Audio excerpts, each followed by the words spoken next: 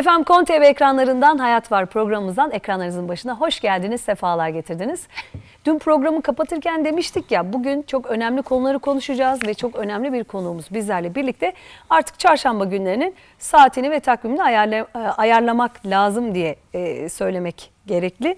Profesör Doktor Cemile Öztün Öğün hocam bizlerle birlikte gele, geleneksel ve tamamlayıcı tıp uzmanı. Profesör Doktor Cemile Öztün Öğün hocam bizlerle birlikte olacak ve bugün çok önemli bir konuyu konuşacağız. Ağır metallerden, toksitlerden ve hayatımızda bu kadar son derece neden olduğundan ve neler de e, bizlere zarar verdiğinden konuşacağız. Hocam hoş geldiniz. Hoş bulduk. Yine güzel enerjinizle stüdyoma renk verdiniz. Bir mukabele. Peki hocam var mı böyle bir yaşam sırlarınız? Şimdi konuya geçeceğiz ama yani böyle enerjiksiniz, işte çok yoğun çalışmanıza rağmen pozitifsiniz. Var mı böyle hayatınızda bir enerji aldığınız bir kaynağınız? Tabii ki. Olmaz olur mu? Tamamlayıcı tıp, e bir de maneviyat. Çok önemli. Evet ve geçen programlarda da konuştuk. Ee, bu arada hocam geçen haftaki programdan bana çok dönüş geldi. Özellikle e, şunu insanlar e, tam olarak ayıramıyorlar. Yani geleneksel ve tamamlayıcı tıp denince e, Ne oluyor mu? Ne oluyor? Hala ayrımı. tam yerleşmemiş. Ve böyle biraz e, zaman zaman insanların da uzak durdu. İşte ne bileyim bazı tedavilerde acaba yan etkisi olabilir mi? Ya da uygun değil midir? İlla ki şunu anladım hocam. Herkes bir e, ilaç kullanmaya çok alışmış. Yani ilaçsız Evet. e, iyileşemeyeceğimize inanıyoruz, kanaat ediyoruz. E, ben bu konuda kendimi çok şanslı görüyorum. Hiç ilaç kullanamayan bir insanım. Kullanamıyorum yani bir hekim reçete ettiği zaman tabii çok zorunlu durumlar çok ayrı bir mesele ama normalde kullanamıyorum. E, ve aslında belki de sonrasında da diyoruz ki bir türlü iyileşemiyoruz. Bir türlü kendimize gelemiyoruz. Uyuşuk gibiyiz diye herkesten duyduğumuz birçok hastalığı e, sizler tabii ki daha çok duyuyorsunuz ama çevrenizde de tıpla duyuyoruz. iyileşen bir tane hastalık söyleyebilir misin? Yok. Şöyle bir gö- gözden geçir ya da aklına getir bakalım. Ya ben şöyle söyleyebilirim. getir Yıllardır bakalım. babam tansiyon ve şeker ilaçları. Evet, tansiyon. iyileşiyor mu? Hala iyileşmiyor evet. Ve şu oldu hocam, onu da yeri gelmişken söyleyeyim. Ee, babam belli bir dönemden sonra gut hastalığına yakalandı ve kullanmış olduğu bir ilacın yan etkisi sonucu. Ya Şimdi böyle mi oluyor? Bir yeri öyle- iyi ederken başka bir yere mi zarar veriyoruz? Öyle komik bir şey var ki e, depresyonun için veriyor mesela. İşte mideni bozuyor. Bu sefer mide ilacı veriyor. O bağırsağı bozuyor. Bu sefer bağırsağın için veriyor. İşte o karaciğerine problem yaratıyor. Karaciğerin için veriyor. O diyelim kafanı biraz daha bozuyor. Böylece bir e, onun için onu ver, onun yan etkisi için bunu ver derken bir kısır döngü içerisinde avuç avuç e, içmeye devam ediyorsun. Ve tansiyon dedin mesela değil mi baban Evet. için? Şimdi tansiyon için tansiyon ilacı alıyorsun. Tansiyonu e, düşürüyor. Yani bazı şeyleri evet modern tıbbı hiçbir şekilde yatsımak değil buradaki olay. Nereye gitti yani ne yapa- yapabildi ya da nerede kalabildiği olay. Ne oluyor? Yani tansiyona müdahale ediyor ama tansiyon hastalığını ortadan kaldırmıyor. Evet. Yani o ilacı çektiğiniz zaman vücuttan tansiyon pat yükseliyor. O zaman o hastalığı tedavi etmiş midir? Yani yok Etmedi etmiş tabii. midir? Etmedi, vücuttan komple e, ilelebet e, vücuttan uzaklaştırmış mıdır? Hayır. Şekerde insülin, şekeri veya ağızdan alınan şeker ilaçları şekeri tedavi etmiş midir? Geçici olarak düşürmüştür. O ilaçları çektiğinde vücutta aynı reaksiyon meydana geliyor mu? Eğer bir ilacı vücuttan çektiğinizde o yeniden ortaya çıkıyorsa o onu tedavi etmiyordur. Yalnızca uyutuyordur ya da söndürüyordur, sendiriyordur. Yani öyle e, halının altında sizi devam ettiriyordur. İşte burada olay gerçek tıp diyoruz. Tamamlayıcı tıp Sağlık Bakanlığı'nın koyduğu bir isim. Geleneksel ve tamamlayıcı tıp bir yasal çerçevede zikredilen isim olduğu için bunu söylüyoruz. Aslında biz bütünleyici tıp diyoruz, gerçek tıp diyoruz. Gerçek tıp derya deniz. Yani şu Kon TV binası ne kadar büyük? Değil mi? Evet. Oldukça Peki büyük. e, bizim içinde bulunduğumuz e, icraatını yaptığımız, öğrettiğimiz ve uyguladığımız modern tıp dediğimiz bir diğer ismiyle ortodoks tıbbı ne kadardır sence? Bak şu söyleyeyim şu. Şu bardak var ya. Bu bardağın içindeki su ortodoks tıbbı yani bizim uyguladığımız tababet. Bu kocaman bina da gerçek tıp, geri kalanı. Şimdi hangisi büyük Evet. ve hangisi derya deniz? Biz bu deryaya dalmaya çalışıyoruz ve buradan şifa vermeye çalışıyoruz. Geleneksel ve tamamlayıcı tıp işte bu derya. Gerçek tababet. Yani bunun içerisinde kadim bilgiler var. Akupunktur gibi, 7000 yıllık gibi geçmiş, fitoterapi gibi, insanlıkla olan bir geçmiş. Yani bitkilerden ilaç, insanlık geçmişiyle aynı. Ee, veyahut e, kupa hacamat gibi ne zaman çıktığı belli değil. Yani İslamiyet'ten öncesi var kupa hacamatın. Peygamberimiz de sünnet haline gelmiş. Yani zaten varmış bu. E yeni yöntemler var, 150 yıllık yöntemler var. Homeopatisi, proloterapisi, nöral terapisi, ozon terapisi gibi bir sürü e, terapiler var. Şimdi bunlar da bir araya geliyor ve e, ha, insanlarda neden soru işareti uy- uyandırıyor? Çünkü bunun sahiplenilmesi yeni yeni oluyor. Yani ehil insanlar, yetişmiş insanlar ve bir bilginin üzerine bu e, uygulamaları oturtmuş insanlar az. Gitgide çoğalıyoruz. Yani bunlar biraz e, mesela kupa hacamat hekimlerin elinde değildi Evet. Hekim olmayan insanlarca uygulanıyordu. Veya işte fitoterapi ne oluyordu? Ee, aktarlar hani sağ olsunlar bir şeyler yapmaya çalışıyorlardı. Onlar da e, çok e, bir sürü şey bilen e, aktar da var. Yani ama onlar fitoterapist değiller. Herbalistler, yani bitki bilimci. Mesela eczacılar da herbalist diye. E, herb, e, bitki anlamını. Bitkilerden anlayan insanlar başka. Fitoterapi, bitkilerle tedavi eden bu işin ehil eğitimini almış insanlar başka. Hekimler e, tamamen dünyada böyle bir akım yeniden organiğe dönme, yeniden özüne dönme, gerçeğe dönme, unutulan kadim bilgilere dönme oldu. Biraz da bunlar bize unutturulmuş. Evet. Bilhassa unutturulmuş. Yani çok basit, ucuz, ucuz şeyler. Bakın e, bazı şeyler var. Yani ulaşması daha rahat ve de şey yan etkisi bunlar diğer ilaçlara göre yan etkileri minimal şeyler. Her uygulamanın bir yan etkisi olabilir. Yan etkisiz bir şey bakın suyu çok için yan etkisi olur. Suyu çok su Allah'ın suyu çok için e, yan etkisi olur. Az için problem olur. Bir şeyin azı çoğu hani hani e, ortasını bulmak lazım ya. Her şey zehir olabilir.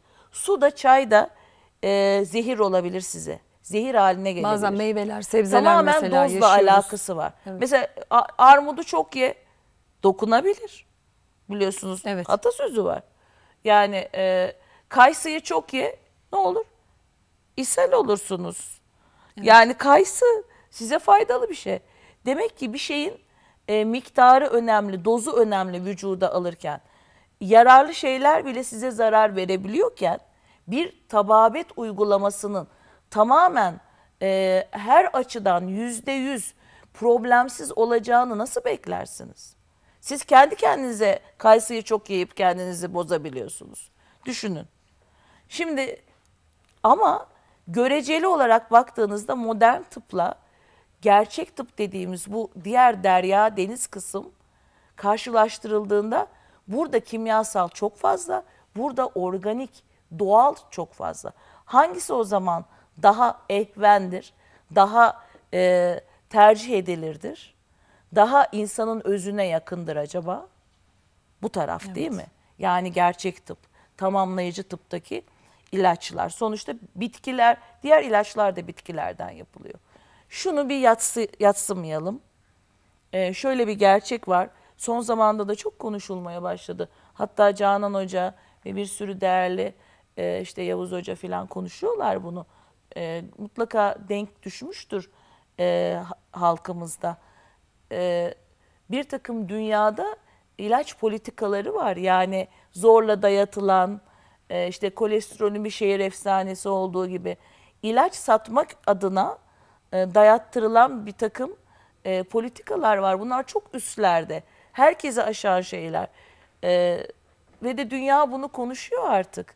Yani ilaç satmak için insanların zorla hasta edildiği ya da laboratuvar değerlerine oynandığı muhabbetini daha yeni bir kitap çıktı biliyorsun bu konuda. Komplo teorisi değil bu yani. Gerçek bunlar. E, bunlar biz de biliyoruz bir sürü şeyi. E, herkes de az çok herkesin bir aklı var ve bu akıl insanlara bunu hissettiriyor. Yani burada yanlış bir şey var. Yani bu ilaçlar bu kadar bir sürü pahalı şeyle e, haşır neşiriz değil mi? Ve de bir tanesi bile tam tedavi etmiyor bizi. Bir antibiyotik bile alıyorsunuz bağırsağınızdaki bakteri ailesini öldürüyor. Sonra size başka türlü zarar veriyor. Yani kortizon of en iki ucu keskinlerden biri ki bu romatizma için filan konuşacağız mesela. O kortizon var ya o kortizonu bir kez vücudunuza alın. Size yapmadığı etmediği yok. Ve vücutta kalıcı etkileri Kalıyor oluyor değil mi? Do- Yıllarca çıkmıyor o sizden. O etkiler çünkü böbrek üstü bezinizi değiştiriyor. Çok değerli bir e, organımız. Böbrek üstü bezini kaç kişi biliyor? Ama orada bir bez var ve hormon salgılıyor. Bütün o hormonlar kortizonla direkt kortizon salgısı oradan oluyor zaten. Orayı değiştiriyor. Vücudunuzun yağ yapısını değiştiriyor. Yağlanma yapısını değiştiriyor. Ve oradan gitmiyor. Evet. Şimdi e, bilmiyorum bu minvalde konuşurken e, toparlayalım. Yani e, geleneksel ve tamamlayıcı tıp daha özü, daha organiği, daha normale yakını, daha uygunu yani her açıdan e, bu tarafı e, ne diyelim hep baş, ilk programda da söyledim. Ama bu elimizdeki modern tıpla diğer kısmı birbirinden ayırmak e, doğru değil. Ne dedim? Bütün bu binayı tıp olarak düşünelim. Bak şu bardak bu binanın içindeki bir bir şey değil mi? Buraya ait düşünelim. Sonuçta hepsi birbirinin içine geçmiş ve birbirini tamamlıyor. O tukaka değil. Bunu yani böyle yatsımak bu kötü, e, bu olmaz. Bununla ancak her şey olur. Öyle bir şey yok. Hepsini akıl ve mantık çerçevesinde bir kazanda eritmek lazım. Evet. Yani bütün yöntemleri niçin kullanmak lazım? Bizim amacımız ne? Şifa vermek değil mi? Yani o zaman şifa için eğer şu benim şu işe yarıyorsa bunu kullanırım ben. Bu işe yarıyorsa bunu da kullanırım.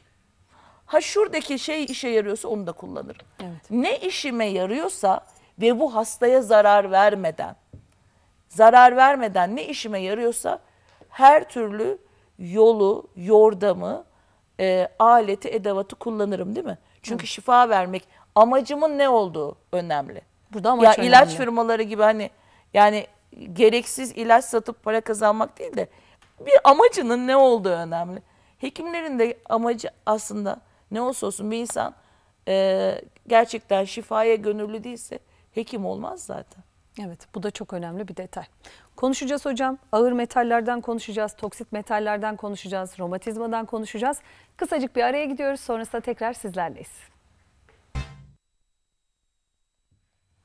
Efendim kısacık bir aranın akabinde tekrar sizlerle birlikteyiz. Ekranlarında bizlerle yeni buluşanlar için hemen konuğumu tekrar sizlere hatırlatmak istiyorum. Geleneksel ve tamamlayıcı tıp uzmanı Profesör Doktor Cemile Öztünöğün hocam bizlerle birlikte ve programımızın ilk bölümünde geleneksel ve tamamlayıcı tıptan konuştuk. Ee, bununla alakalı dediğim gibi aslında biz böyle bilmiyorduk, daha farklı biliyorduk diyen e, bir sürü kişiyle karşılaştım hafta içi. Ee, ve Hani aslında herkes hacamattır ya da bu tarz tedavi yöntemlerini biliyor aslında hocam ama Biliyor e, acaba bana uygun mu? Acaba nerede yaptırmalıyım? Ya da bu tedavi Ner- sonucu nerelerde sıkıntı- kullanılır? kullanılır gibi. Ne kadar sonuç Evet. alınır? e, ne kadar esprisi var? Şimdi insanlar doğal olarak e, niye tereddüt geçiriyorlar biliyor musun? İşte hacamatı kimler uyguluyordu? Hekim olmayan insanlar uyguluyordu. İşte evlerde yapıyorlardı. Kuru kupa, yaş kupa. Yaş kupa kanlı hacamat yani aslında. Kuru kupa e, anneannelerimizin, babaannelerimizin e, hani evlerde uyguladığı bir şeydi. Uygulansın bunda problem yok. E, insanlar çok bilinçli olmayarak uyguluyorlar ama kuru kupa e, çok hani zarar verici bir şey değil ama mesela hacamattan girdin madem söyleyeyim. E, hacamat e, akupunkturun kanatmalısıdır. Aslında hacamat bir akupunktur yöntemidir. Çok net altını çize çize e, ve sözümün tamamen arkasında dura dura söylüyorum. E, hacamat aslında bir akupunktur yöntemidir. Nasıl? Bir akupunktur yöntemi. E, akupunktur noktalarını kanatarak yapılır.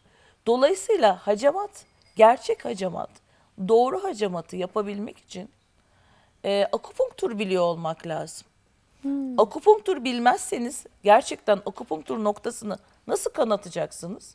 Yani şimdi ben sana bazı yerler gösterebilirim. İşte sen de e, göstermeyle hani onu tam bilinçli değil de işte burası hani burası e, diyorsun. Hani bu e, hiçbir anatomi bilgisi olmayan, hiçbir doku bilgisi olmayan birisinin masaj yapması gibi. Hani o masaj değil de yoğurma diyelim. Daha çok zarar verebiliyor bile bazen. Zarar zarar verirsin. E, e, mikropsuzlaştırmada e, veya dokuyu ne kadar zedeleyeceğini, hani ne kadar keseceğini bile ne kadar yetişirsen yetiş. E, akupunktura hakimiyet ayrı bir olay. Çünkü akupunktur iğne batırmak değildir.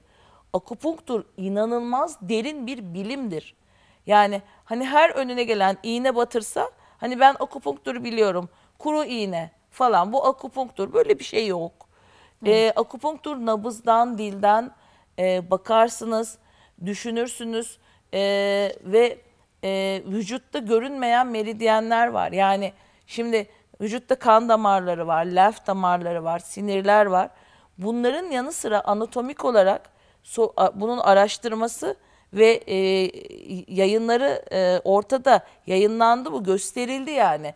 E, vücutta bir başka yol daha var. Onlar hafifçe boyanarak gösterildi. Bir damarsal yapı daha var. Ama bildiğimiz damarlardan değişik bir yapı var. Bunun akupunktur meridyenleri olduğu gösterildi. Bütün vücudu ağ gibi saran ve e, bilemediğimiz yani kadavra çalışmalarında gösterilmeye çalışılıyor bunlar. E, hani lenfleri de çok bilemiyoruz ya mesela lenf dolaşımından hiç duydunuz mu lenf dolaşımı, lenf yolları, lenflerin de damarları var mesela ve kan damarlarından çok daha başka görev yapıyorlar. Mesela kanser hep lenf yoluyla yayılır. Hani kan yoluyla ama lenfle yayılır. Ee, şimdi bak lenf yolu var, kan yolu var, bir de akupunktur yolu var. Hani vücudun içinde özün, e, öz dediğimiz e, aslında e, Çinlilerin çi dediği bu e, hiç unutmuyorum Gazi'de e, kula- e, kulakları çınlasın. Çok e, üstad bir hocamız var. E, aslında eczacı, e, fitoterapist ama aynı zamanda akupunktur gönüllüsü. E, daha epey eski zamanda bir ders dinliyoruz. Çiğ dedi ne demek dedi bir düşünün dedi. Türkçe dedi. Çiğ çiğ çiğ. Hani e, yaşam özü sabah kalktığında güllerin çiçeklerin üzerinde Evet, damlalar. gördüğün damla çiğ ya. Çiğ çiğ o işte. Aa tabii doğru yani doğru. Çiğ yaşam özü demek. O da öz demek zaten hani onların üzerindeki özdür yani o çiçeklerin üzerinde bulduğun şey. Zaten e, Türklere indirilmiş bir şey yani e, bu lütfedilmiş bir şey akupunktur. Yani Tanrı katından, Allah'ın katından indirilmiş bir şey. E, bu, bu hediye, bu bunun bir hediye olduğuna inanan benim gibi bir sürü insan var. Çünkü bunun ispatı da var yani. E, bulamıyoruz. E, şu anki tıbbi hiçbir yöntemle e, yıllarca araştıralım bir insanın üzerinde bu kadar noktanın hangi hormonu salgılattığı, bağışıklık sisteminde hangi hücreleri aktive ettiği, kaslara ne yaptığı, kana ne yaptığı, Ondan sonra işte karaciğeri nasıl düzelttiğini mümkün değil. 7000 yıl önce hangi biyokimya laboratuvarıyla, hangi PET ya da MR'la buluyordun? Hangi tomografiyle bunu bulabildin? Böyle bir şey yok. Elinde böyle bir şey yokken bu insanlar bunları nasıl iğneledi de bu etkileri oluşturdu? Hani nereden geldi? Tabii ki bu yani bu bunun bir hediye olduğu çok ge- gerçek. Hacamat da bunun kanatmalısı. Zaten onun için bizim dinimize girmiş durumda. Yani bunların hepsinin bir anlamı var. Çünkü alt arkasında maneviyat var aynı zamanda. Bir de inanmak deniyor hocam. Yani hani e, hacamat yaptırdığınızda ki bunun belli bir zaman dilimleri de var değil mi? Hacamatın yapılma zamanları Tabii şimdi mesela. sünnet hacamatı için Evet. e, yapılacak zaman var. E, son dördünde yapıyorsun yani. Ayın son Dolunay, dolunay, hı. dolunay da bütün nasıl sular çekiliyorsa kan da vücuttan merkezden dışarıya doğru çekiliyor.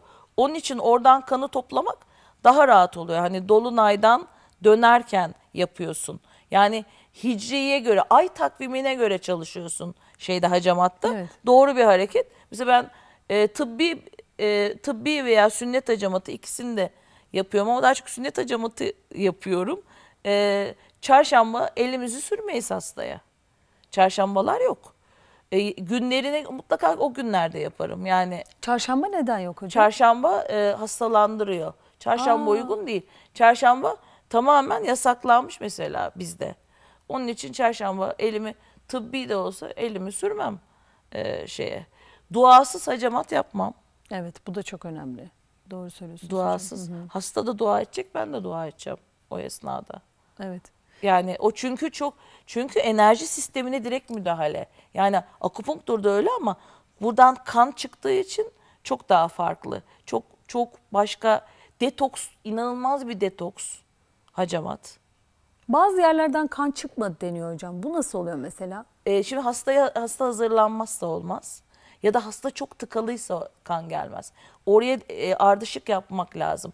Yani biz hastaya önce mesela masaj yapıyoruz. Guaja denen bir masaj tekniği var.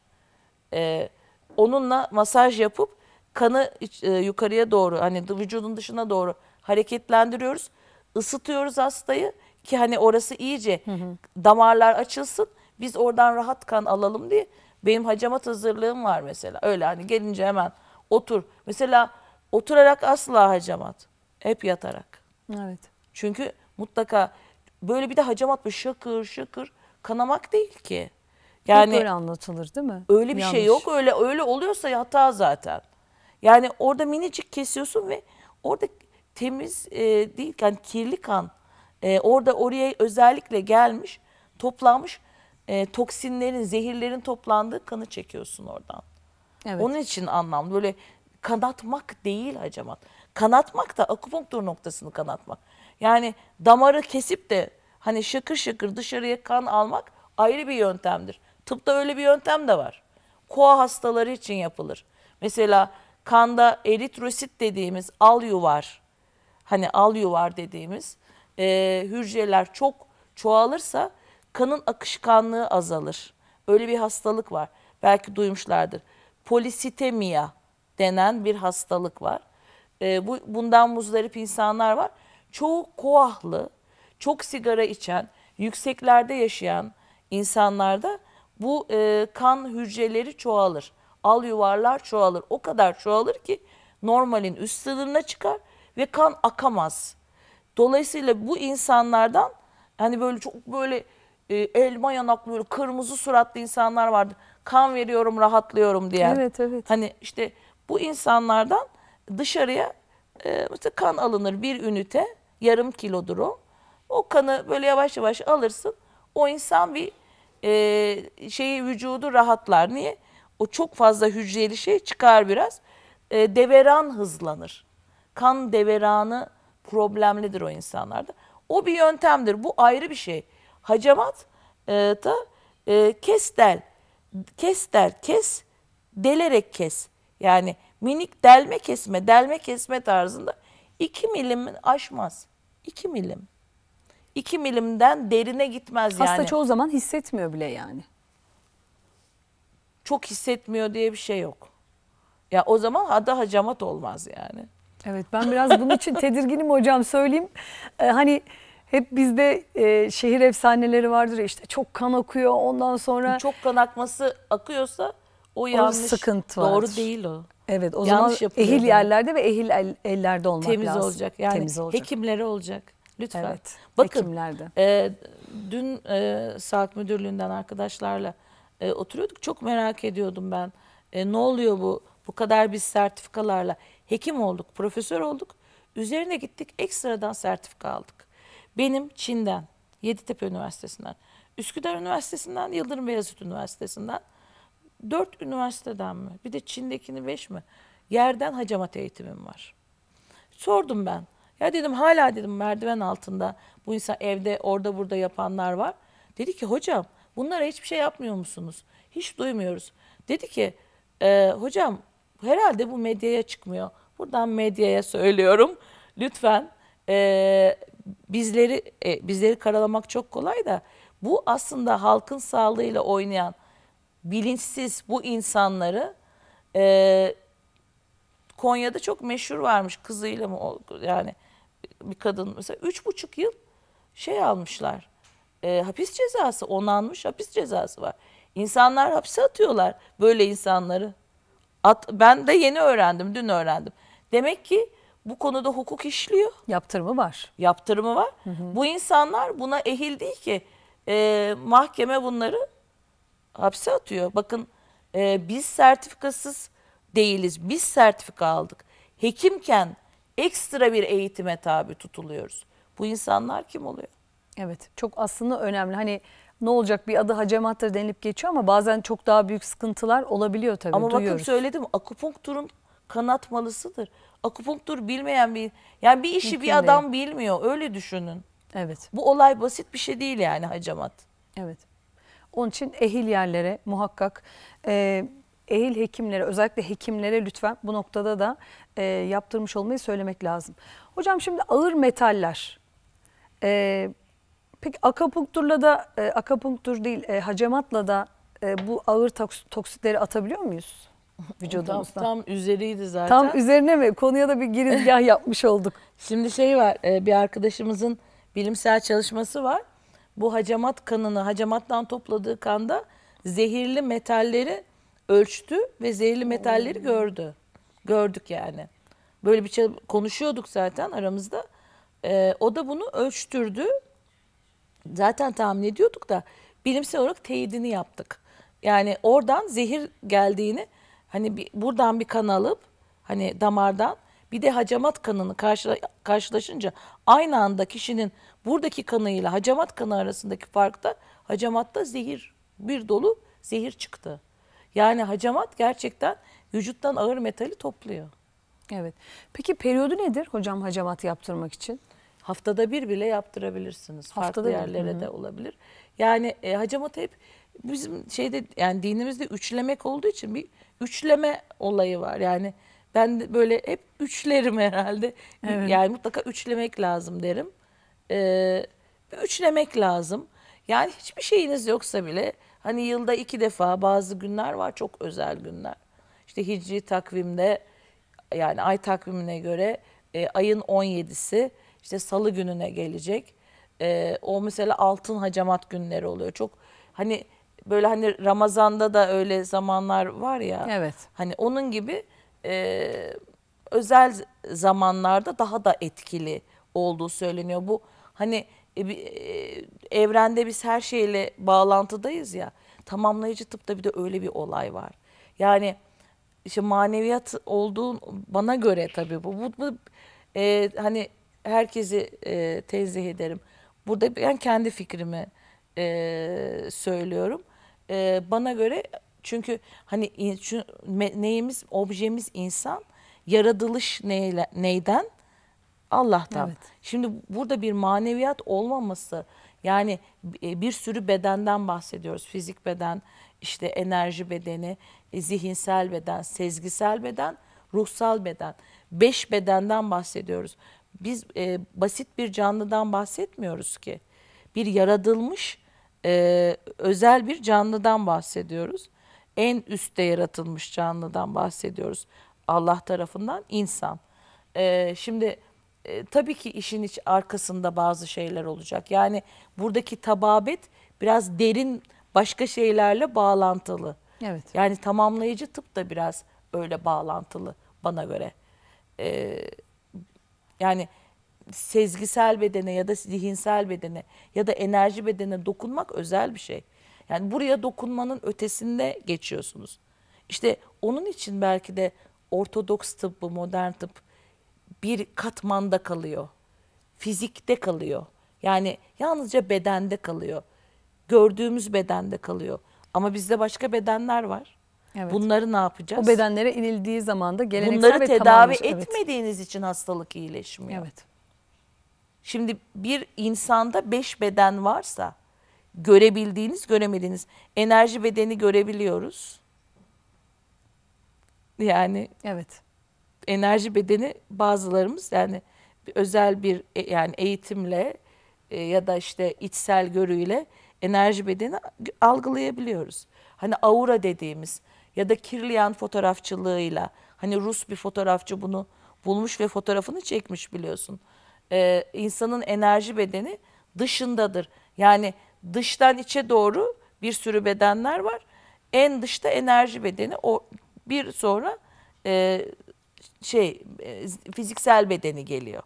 Onu algılayabiliyorsunuz. Evet. Ee, ve enerji bedeni de fotoğraflayabiliyorsunuz. En azından fiziksel bir göstergesi var insanlara. İnsanlar artık bunu görebiliyor. Ve sizin hastalığınıza göre veya bir insanı sevip sevmemenize göre e, bu enerji bedeninin rengi değişiyor biliyorsun. Birbirinden haz eden iki insan oturduğunda e, bedenlerden böyle alev gibi parçacıklar çıkıp birbirlerine sarılırken hani birbirinden haz etmeyen iki insan böyle yan yana otururken e, onların enerji bedenleri böyle birbirlerinden ayrışıyorlar. Ki onu hissederiz. Tabii yaratılmış her Evet. şeyde enerji bedeni var. Bitkilerde de var biliyorsun. Evet. Hayvanlarda var. Yani hayvanlar mesela doğruyu iç- e, bu enerji bedenleriyle karşının enerji bedeniyle etkileşerek ayırt ediyorlar. Mesela o insandan kötülük gelecek, gelmeyecek onlar biliyor. Biz Hissediyor. biraz örtülüyoruz ya, Evet. e, özümüzden uzaklaşıyoruz ya biz sosyal yaşamda. Ama hayvanlarda öyle bir şey yok. Onlar saf oldukları için hissediyorlar. Bebekler mesela örtülmediği için bebekler hissedebiliyorlar. Hani bazı insanlarda ağlıyorlar. Bazı insanlar iyi iyi e, insanlarda, iyi enerjili insanlarda dururlar bebekler. mesela, evet. evet. Bunun gibi düşün. Evet. Bitkiler de öyle. Bitkilerde de araştırmalar var. Yani enerji bedenini kanıtlayan çok fazla şey var. Yani kanıtlayan değil mi de zaten var da hani e, bunu anlamak istemeyenlerin gözüne sokan çok fazla şey var. O zaman bu diye. enerji mevzusu şu değil mi hocam? Hani birçok duyuyoruz elektriğimiz tutmadı, frekansımız Evet, o tutmadı muhabbet diyoruz bu ya. muhabbet, evet. Evet, enerjinin tutması evet. aslında çok önemli bir şey. Şimdi hocam ağır metallerden bahsedeceğiz. Ağır metalleri nasıl alıyoruz vücudumuza? o, o kadar güzel alıyoruz ki. Araya mı Şimdi- gideceğiz? İki dakika sonra peki. Neyle alıyoruz? Mesela şampuanla alıyoruz. Saçını yıkadın şampuan. Şampuanla. Aa. Saçını yıkadın şampuanla alıyorsun. Veya ruj sürdün. Ee, şeyde çamaşır makinesindeki yumuşatıcıdan alıyorsun. Deterjandan alıyorsun. Bulaşık makinesi mesela Bulaşık değil mi? makinesindeki parlatıcıdan alıyorsun. Ondan sonra e, yüzey temizleyiciden alıyorsun. Yediğin ette, sütte, ondan sonra bütün e, ambalajlı gıdalarda işte e, suyun içine katışıyor. E, sigaradan çok alıyorsun. Arsenik, kurşun ve kadmiyum. Şu üçü var ya insanlarda en çok bu üçü bulunuyor. Bu sigaradan bir kere bu ağır metaller çok geliyor. Ee, yani bir yiyeceklerin, sebzelerin içine bile karışabilir. Ondan ama daha çok e, et sütün içine çok karışıyor. Yani hayvanların neyle beslendiği önemli. Ee, hayvanlara verilen gıdalar ne, ne yiyor, ne içiyor. Hani e, suni yemlerde olabilir. Ol, var zaten. Evet, fazlasıyla. Oluyor. Ee, tavuklarda var söylüyorum. Tavukçular beni aforoz etmesin ne olur ama varlar yani ne yapayım. Ee, Mesela ekmekte en büyük öğünümüz mesela hani e, Ekmekte ağır metal var mı? ne bileyim bazen Ekmekte unundan. çok fazla kimyasal madde var. Ekmekte Ekstra kimyasal, kimyasal, hı hı. madde var. Yani şimdi mesela modo- monosodyum glutamat diye bir Evet, var Çin duyuyoruz. tuzu çok toksik. Yani e, çok fazla petrol ürünü yiyeceklerin içine karışıyor. Mesela su damacalı, damacanalarından alabilirsin sıcakta kalmıştan. Oralardan çok kimyasal giriyor bize. E, su borularından gelebilir. Ondan sonra e, radyo opak maddeler mesela yutuyoruz veya MR çektiriyoruz falan onlar vücutta kalıyor. Oradan ağır metal geliyor. Onkolojik tedavilerle, kemoterapilerle çok fazla ağır metal geliyor. Ondan sonra e, solurken ağır metal geliyor, egzozdan geliyor ağır metal veya fabrika artıklarından çok ağır metal geliyor. Yani endüstriyel e, olarak böyle biraz karmaşık veya kalabalık yerlerde yaşanıyorsa e, jet yakıtlarından çok geliyor. Mesela jet yakıtları e, uçak geçiyor ya mesela çok uçak e, seyri olan yerde e, yakıt e, aşağı doğru süzülerek geliyor. Ve orada mesela orada bir tarla varsa diyeceksin ki bu ne alaka? Ama bilimsel araştırma var. Oraya böyle e, serpe serpe iniyor yani yağmur gibi. Orası tarlaysa hani Allah'ın dağındansa bir şey olmuyor da hani insanın temas ettiği. Ama insanlara giden mesela atıyorum buğday tarlalarının üzerinden o yakıt geliyor. Eğer jetlerin veya işte çok e, o tarzda e, uçak yakıtlarının e, çok salındığı bir şeyin güzergahındaysa orada oho bir sürü e, ağır ağır metal e, yiyeceklerin içine giriyor. Toprağa giriyor zaten. Evet. Bir de toprağa girince topraktaki bitkiden sana geliyor. Biz sağlıklı besleniyoruz diye sevinirken O bazen işte hiç onun için bilmeden. mesela organik tarımda e, organik tarım, ekolojik tarım diye ayrım var ya. Evet. Organik tarımda yanından yönünden uçak, e, işte otobüs hiçbir şey geçmeyecek bir yer. Yani böyle el değmemiş bir yer var mı şimdi? Çok zor. Yok. Evet. Konuşmaya devam edeceğiz. Hepimizin vücudunda bu ağır metaller var mı? Bunlardan nasıl kurtulabiliriz? Hepsini detaylarını konuşmaya devam edeceğiz kısacık bir aradan sonra.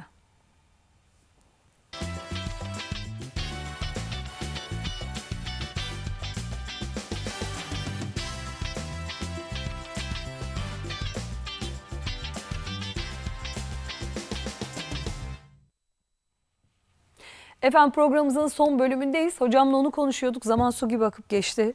Vallahi Konuşulacak tam anlatamadan, konuşamadan herhalde konuyu. çok konu var. Hocam e, hemen konumuzu devam edeceğiz ama bir sorumuz var. E, otizmlere de hacamat yapılıyor mu diye bir soru gelmiş. Hacamat herkese yapılır. Fakat yani otizmde e, zaten problem gerçekten ağır metalleri atamamak vücuttan. E, hani otistik çocuğun e, bir hacamata e, uygun e, davranabilecek mi? Yani orada bizimle e, koopere olabilecek mi? Bizimle doğru iletişimde olacak mı? O soru işareti.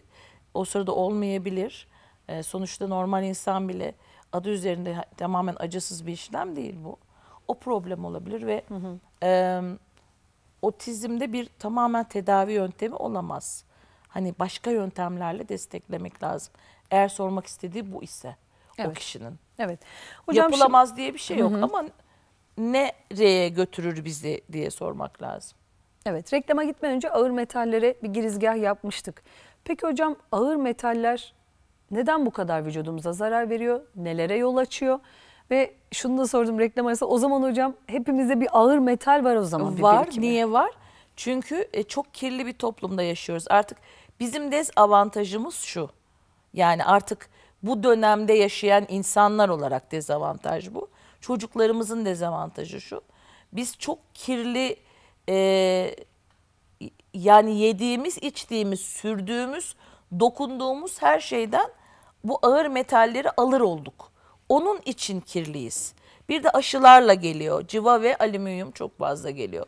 Deodorantlarla geliyor. Hani bir sürü eskiden hani bu kadar kozmetik mi vardı, bu kadar deterjan mı vardı? Hani gitgide e, kimyasal maddelerle çevrili ya etrafımız. Evet. Buralardan da bize öyle böyle geliyor.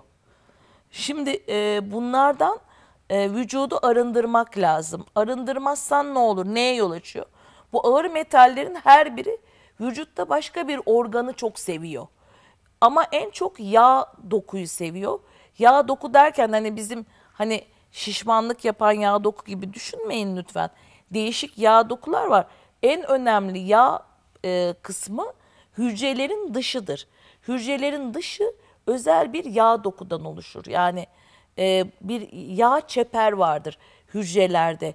Hücrenin çekirdeğinin dışında böyle jöle gibi böyle hani oynayan ve dışında da böyle bir zarı vardır gerçekten hücrenin.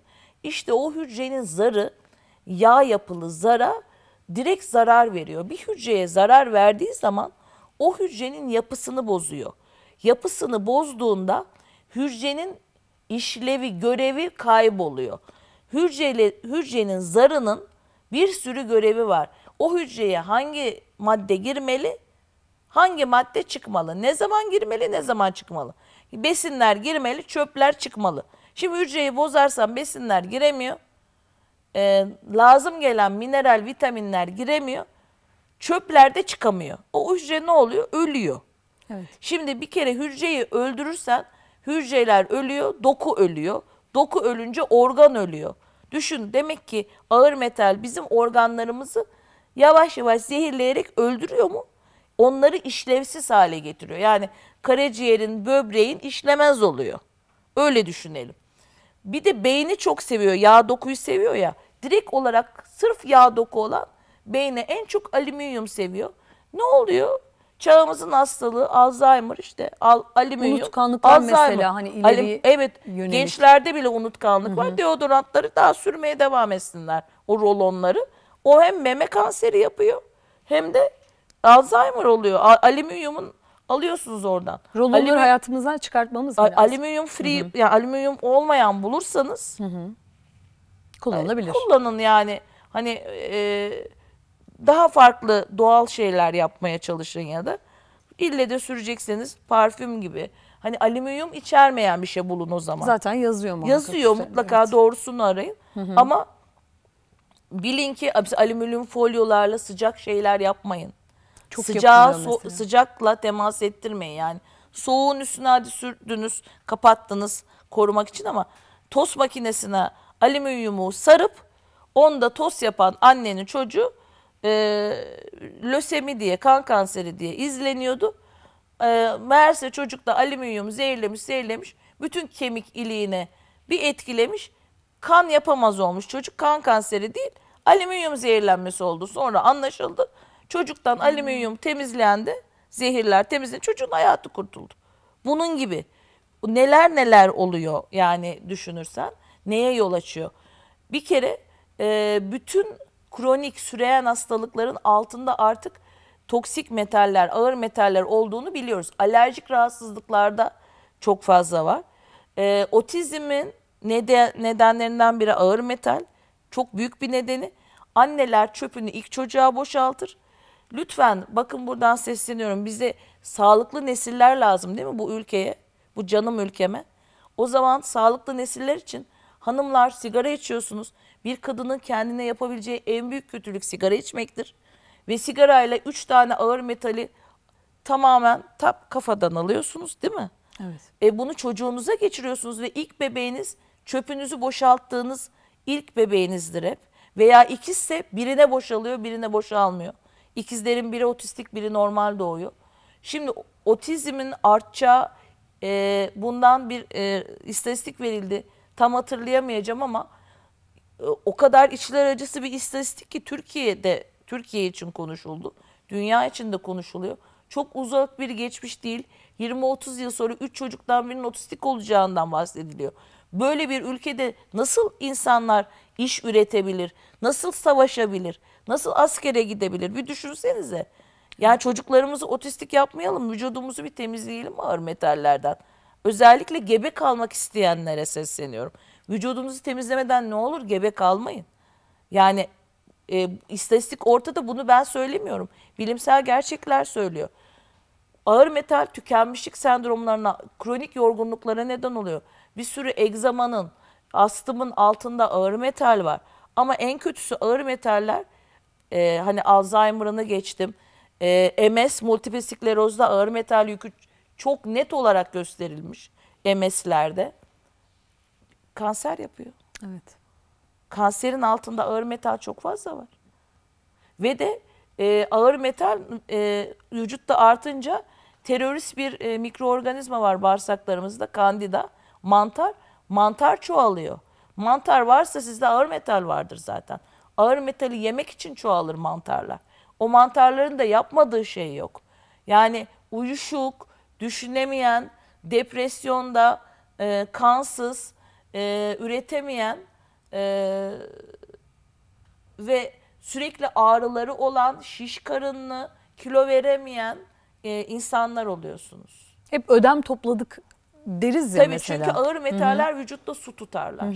Ya çok ödemli insanlarda ya da kilo veremiyorsanız ağır metaliniz vardır. Evet. Peki hocam yani hepimizin hayatına muhakkak dediğiniz gibi işte sigara içmiyoruz ama sigara ortamlarda bulunabiliyoruz Pasif içicilik mesela. de çok evet. kötü. Hı hı. Ve Onun için hepimizin hep sigara karşıtı e, hareketim oldu. Evet. Hep sigarayla mücadele etmeye çalıştım. Evet. ve dinliyorum. bunun sonucunda da yani o zaman hepimizin hayatında ağır metaller az Var. ya da çok bir şekilde var. Peki bunlardan nasıl arınabiliriz? En kişniş. En başta. Kişniş. Kişniş tohumunu yoğurda karıştırınız. Öğlen ve akşam yiyiniz ama dozunu tabii biz her vücuda göre dozunu biz biliyoruz. Evet. Yani ayırt edebiliyoruz. Birer tatlı kaşığı e, ya da yavaş yavaş artırsın. Çay kaşığıyla koy sonra tatlı kaşığını. Baksın kendine baksın. Kişniş en basit. Bir de limonlu su. Yani vücuttan bir şey atmak lazım bunu. E, hani su içmezsen ağır metali atamazsın zaten. Evet. Limonlu Ama su. alkali su. Yani limonlu su alkali sudur. Sakın Evet. ola lütfen İngiliz karbonatı, bilmem ne karbonatı, bildiğimiz anam babam ev karbonatı. Karbonatı suya koyup içmeyin.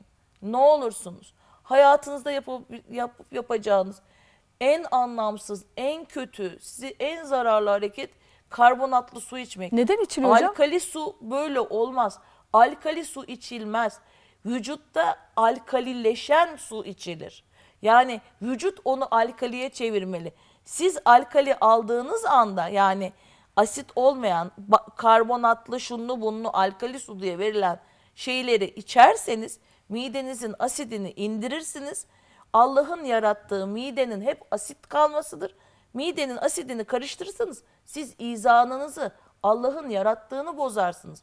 Burayı bozduğunuzda her şey bozulur. Onun için o karışımı içince vücutta o e, kendisi alkali hale gelmeli. Yani asit alkali kimya olarak nasıl anlatabilirim alkaliyi bilemiyorum Vücutta artık. dönüşmesi lazım. Vücutta Biz dış dönüşmesi ortamdan lazım. vermeyeceğiz. Dışarıdan alınmaması lazım. Evet. Ne olursunuz bu yanlışa özellikle dikkat edin. Ondan sonra midenizin bariyerini, dalga kranını kırdırırsınız.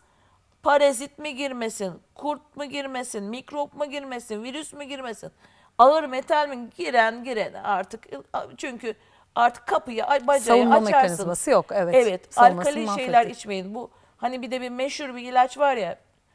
Hiçbir şey demiyorum. Ona düşmanım. Hani içiyorsun da mide asidini yani yok ediyor 3 ay 5 ay. Bu helikobakter pylori için veriyorlar ya tedavide. Ben de o ilaca hastayım. Evet. Kişniş ve yoğurt zarar dediniz. Bu veriyor. çok önemli bir şey. Kişnişi çorbaya koy, şeye koy, e, salataya koy, yoğurda koy. Kişniş. Bolca su iç. Hani mesela saunaya gir. Saunaya gir. E, hani bol bol su tüketip kişniş yiyip saunaya gir. Gene epey bir atarsın yani. Evet yani aslında çok basit yöntemlerle atılabiliyor. Ama bu hafifse. Hafifse tabii. Ya almaya devam ediyorsun. Seni bu hastalandırdıysa senin bunu atmana imkan yok. Ben bunu hacamatla atarım. Ben bunu ozonla atarım. Damardan detoks serumumuz var. Onunla atarım. Ben bunu yüksek doz damardan C vitaminiyle atarım. Ben bunu özel yosunlar var. Vücuttan ağır metali bağlayıp atan. Ama bunları sizin kullanmanız mümkün değil. Çünkü önce bağırsağı hazırlarız. Eğer böyle bağırsağınız hazır değilken ağır metal atıcı bir şey alırsanız o da sizi kamyon çarpmışa döndürür. Yani ya- yere böyle hani yerden kazıma denir öyle olur yani. Ciklet gibi olursunuz. O da çok tehlikeli.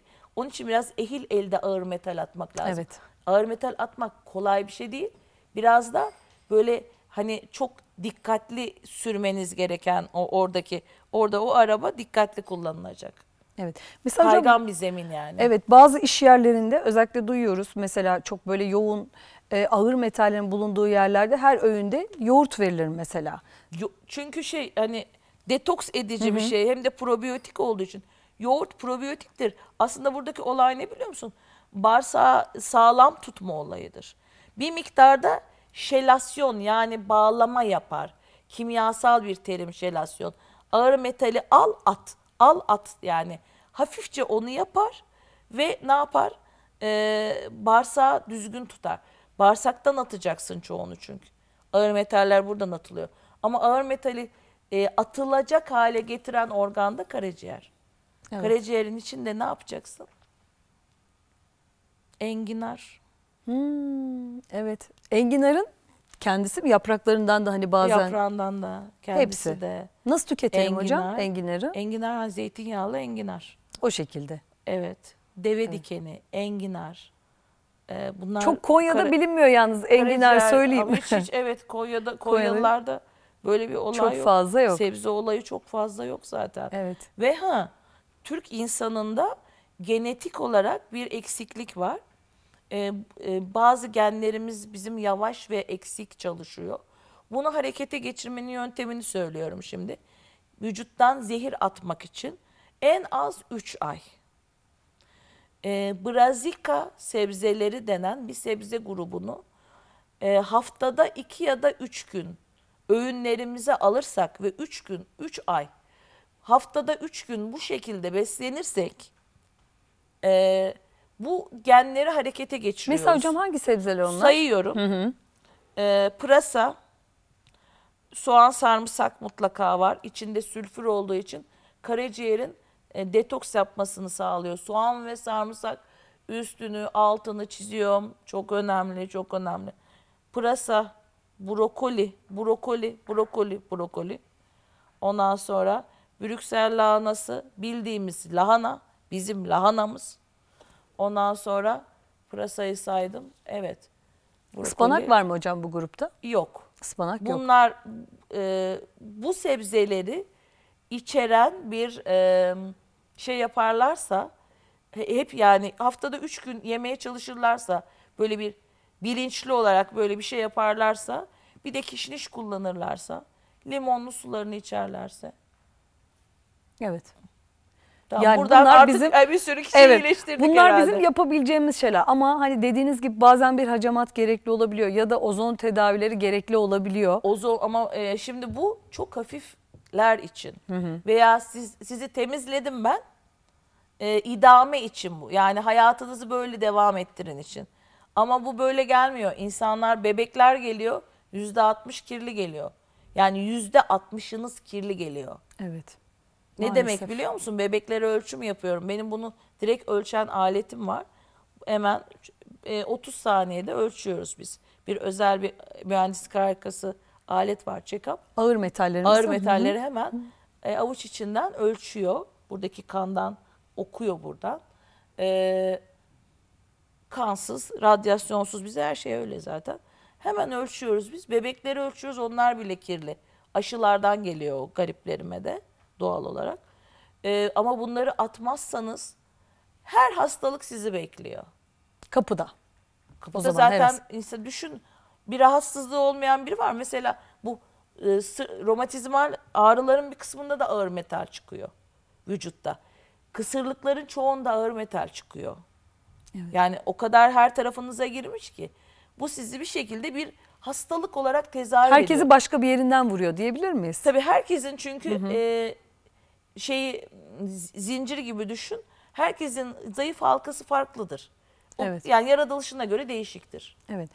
Almanya'dan bir sorumuz gelmiş. Mustafa Bey bunu özel olarak hocama ileteceğim. Ee, mesajlarınızı tabii yayın sonrası da hocama da ulaştırıyorum. Yeğenim Wilson hastası. Ee, onun tedavisi için önerdiğiniz doğal yöntemler, hacamat gibi ya da başka tedavi yöntemleri var mı diye sorulmuş hocam. fitoterapi ve homeopatik yöntemler olabilir. Ee, o tamamen ayrı bir olay. Orada karaciğeri toparlamak lazım. Genetik rahatsızlıklara bir yere kadar müdahale edersiniz. Evet. Genetik rahatsızlıkların böyle bir Genetik sıkıntısı. rahatsızlıkları genetiği değiştiremezsiniz. Yalnızca eskiden hiç müdahale edemezdik ama şimdi bir miktar müdahale edebilirsiniz. O da beslenmeyle yani bir şeyler alarak vücuttan eee, biraz şifa olabilirsiniz.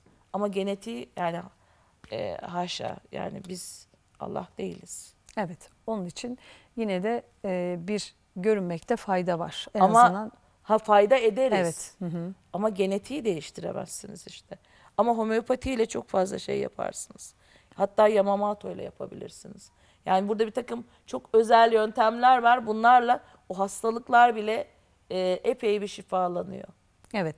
Yani hayatımızda bu kadar ağır metaller var.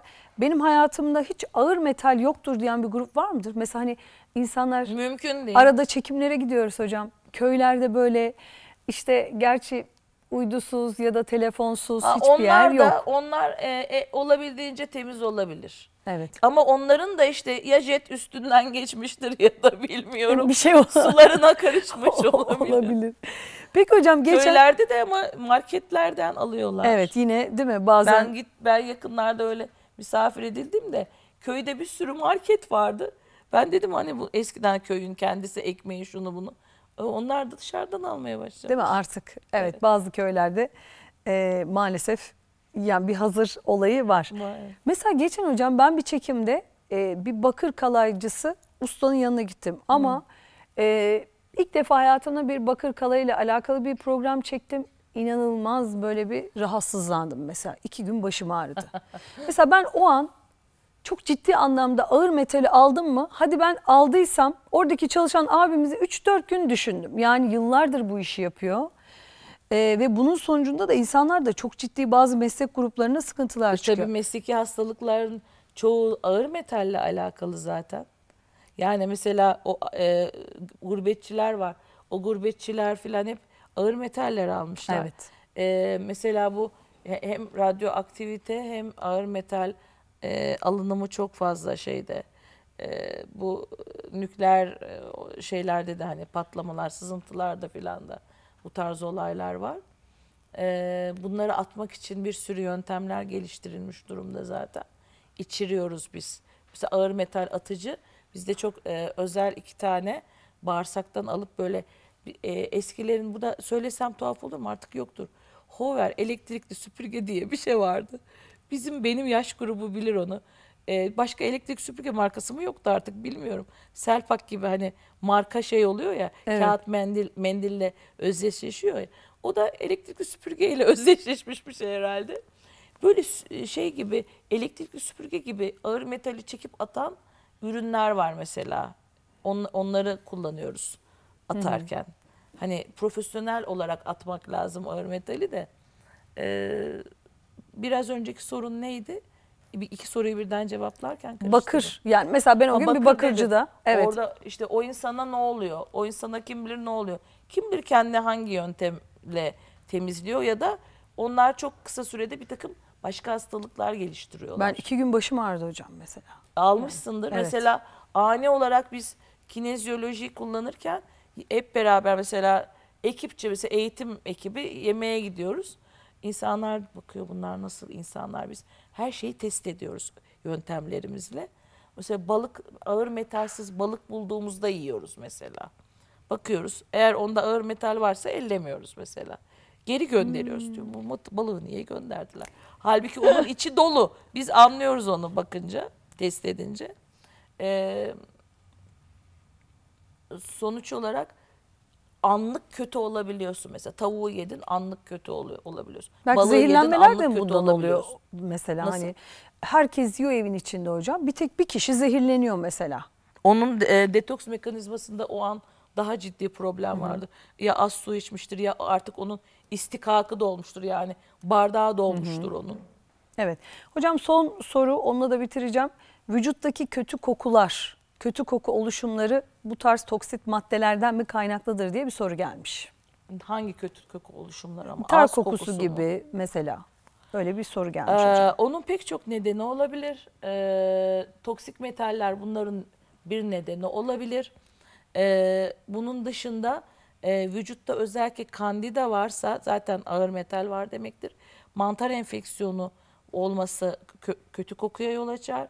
Ee, vücutta e, çürüme olması kötü kokuya yol açar. Yani bağırsakta sindirim sisteminde e, düzgün hazım yoksa e, çürümeler oluyorsa yani midenize hani karbonatlı suyu içtiyseniz mesela Evet. gibi e, buradan e, kötü koku olabilir. Kötü kokunun birçok nedeni var. Ama bu homeopatik olarak düzeltiliyor kötü kokularda. Bir, çok ciddi bir bulgudur. Terlemelerin, el terlemelerin Çok fazla olur evet gibi. bazı insanlarda Evet, değil mi? onlar akupunkturla düzeltiliyor. Evet. Romatizma konusunda konuşacaktık hocam ama inşallah bir Artık sonraki önümüzdeki programa herhalde romatizma daha detaylı bir şekilde konuşalım ki ağır metaller gerçekten hayatımızda e, çok ciddi yani anlamda ne diyelim yorgunluktan, depresyondan bir sürü kanserden, otizmden e, sakınmak, kurtulmak istiyorsanız e, bir sürü süreyen kronik hastalığınız varsa çok yüksek olasılıkla ağır metaliniz var.